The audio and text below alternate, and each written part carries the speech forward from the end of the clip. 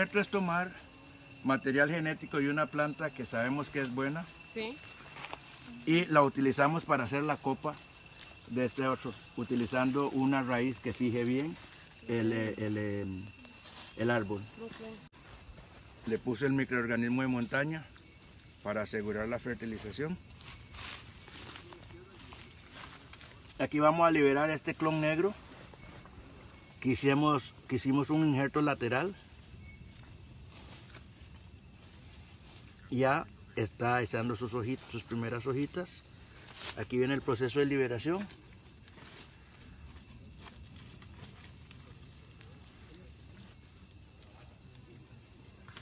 Aquí venía, aquí viene. Esta es la hojita. Entonces vamos a dejarlo hasta aquí para que vaya secando y vaya haciendo lo pertinente.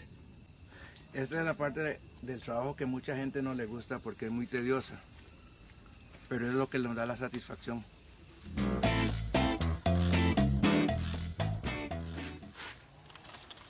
No, ¿cuál fitóptera?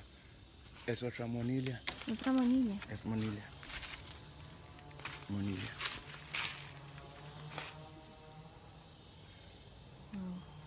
Y entonces ahí ya hay que, hay que botar la mazorca.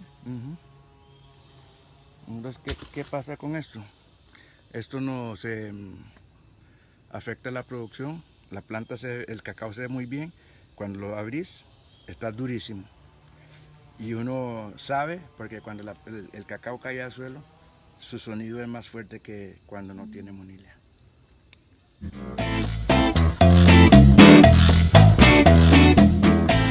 Eh, cuando declararon el territorio este como reserva indígena, muchos de nosotros teníamos fincas en esos terrenos. El Estado dijo que el territorio indígena se deja los terrenos siempre y cuando los paguen. No los han pagado todavía, siguen siendo propiedad de, las, de los dueños originales, pero los indígenas los trabajan. ¿sí? Entonces todavía estamos en ese, ese Ya. tipo de conflicto. Pero la relación, digamos, con... con la población indígena sí, sí. ese es muy buena. Nunca falta uno que, que quiere hacer una locura. Entonces lo que ¿Cómo tenemos que? que Que es hacer una nosotros- locura. una locura porque eh, hubo un muchacho que dijo, no, todos esos territorios son nu- nuestros. Entonces tenía uno que sacar el decreto ese y decir, es suyo cuando se lo pague. Antes no.